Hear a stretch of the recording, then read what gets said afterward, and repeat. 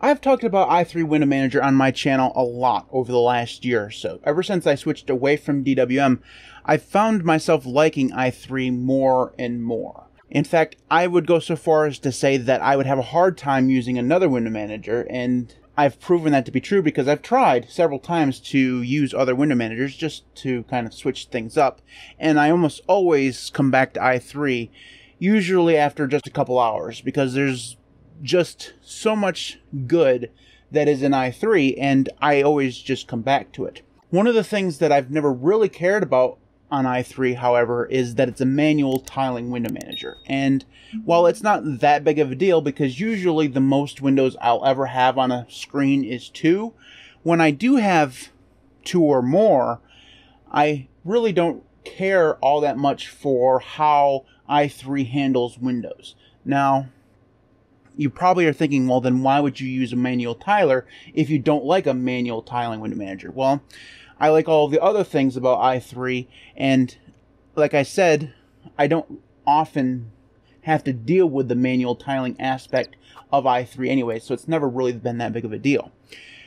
However, one of the things I have said over the last few months is that if I could combine DWM and i3 and take all the great features of i3 along with the few features that I miss from DWM and put them all into one window manager, I think it would be absolutely perfect. Now, for the most part, that's pretty much impossible. But there is one aspect of DWM that I can bring into i3, and that is transitioning i3 away from being a, a manual tiler into a dynamic tiling window manager. And you do that with a little script called auto tiling. Now, auto tiling is a way to kind of hack i3 into being a dynamic tiling window manager. And let me show you what it does. First, actually, before we do that, let me go ahead and show you how i3 normally acts. So when you open up Windows, if you don't have auto tiling enabled, this is what you get. And then you have to do something like this, like a key binding, in order to get it to go the other direction okay? And then you would be able to do something like that. I mean you can't really see that now because it's behind my head but if i go over here you can see if i do another key binding we could do this. And that's the way a manual tiler works. You are always in charge of where the next window spawns and you can control that by a key binding.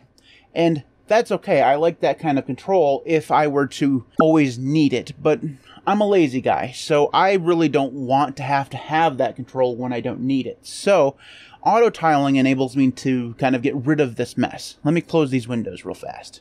So when you have auto tiling enabled, it looks like this. So let me actually get rid of my face here so that you can see this full screen. So what it basically, this is what it does. And I'm not pressing any key binding other than to open up the window.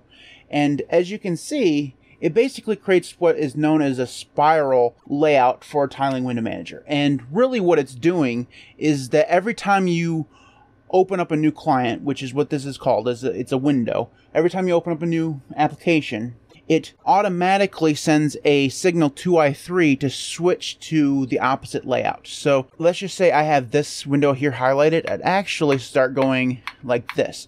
And really what it does is it switches between vertical and horizontal tiling every other time you open up a window. So it goes vertical, then horizontal, then vertical, then horizontal, and so on and so forth. And that's what it does. It turns it into a dynamic tiler. Now, it's not as great, in my opinion, as like the master stack layout. You can finagle a master stack layout out of i3 with a certain script, but in my experience, it's always been kind of hit or miss. The auto tiling script has been rock solid, and I've experienced no problems with it whatsoever. And it is easy to install. So if you are on Arch Linux, it is in the AUR. If you are on Fedora, you will have to make it yourself. And there are instructions on how to do so on the GitHub page. Basically, what you're going to do is download the GitHub repo, rename the script that is in the Git repo, and then move it into your path. That's basically all there is to it. So you can run this on pretty much any distro you have, even if it's not in your repositories and that's cool because one of the things I thought I was going to miss when I switched to Fedora is this script, but it turns out it was really easy to install. This is all auto tiling actually does. It turns i3 into somewhat of a dynamic tiler, and I find that almost indispensable. Now, I, I, never have this many windows open, first of all. So honestly, anything over three or four, I'm never going to really notice. But I do sometimes have four terminals open up on the same screen. And it's nice to not have to control where those windows are going to pop up next. So while I'm here, let me actually show you how you would do this. So once you've installed auto tiling, whether you've done this from the AUR or you've built it yourself, getting it to run is actually really easy. So if I cd into my, where my i3 configuration file is, which is in my repository, and then I vim into my auto start file, you might have auto start in your i3 config itself, or you might have a separate i3 auto start file. It doesn't really matter. All you need to do in order to get this running is add auto tiling to your either your i3 configuration file or your auto start file and it's just like this and then it's done. You know restart i3 and it will start doing auto tiling so that's really all you'll need to do in order to get this up and running and like i said it's very easy to install so pretty much anybody should be able to do it. So that is auto tiling on i3. I adore it. I think it's one of the things that really kind of adds some extra feature to i3 that you really won't be able to get otherwise. And I'm always looking out for things like that. And it really does kind of make me miss things like DWM less because one of the things that I missed about DWM was the dynamic aspect of it. And now that I have that on i3, I don't have to miss it at all. So while it's not quite as good as Master Stack, it's still good enough. So so that is it for this video. If you have comments on auto tiling or you have any other cool i3 tools that you think I should check out, leave those in the comment section below. Just remember, don't give me any links because YouTube will delete them. You can follow me on Twitter at LinuxCast. You can follow me on Mastodon or Odysee. Those links will be in the video description right below the like button. If you could hit the like button, it'd really help me out.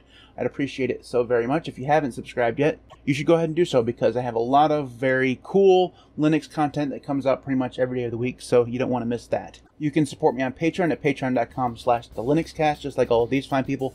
Thanks to everybody who does support me on Patreon and YouTube. I truly do appreciate it.